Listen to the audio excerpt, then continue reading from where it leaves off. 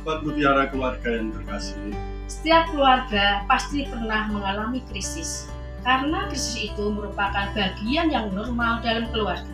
Ketika menghadapi krisis, kadang kita merasa seperti hidup sendirian, tak ada orang yang peduli menolong. Bahkan kita merasa Tuhan tidak adil dan meninggalkan. Masih adakah harapan lagi? tentu saja masih. Firman Tuhan dalam Amsal 23 ayat 18 mengatakan, Karena masa depan sungguh ada dan harapanmu tidak akan hilang. Membangun relasi antara pasutri akan membantu menguatkan setiap pasangan dalam menghadapi masalah.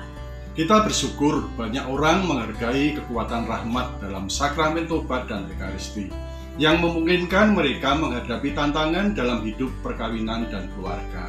Semoga rahmat Tuhan kita selalu beserta kita. Salam sukacita kasih.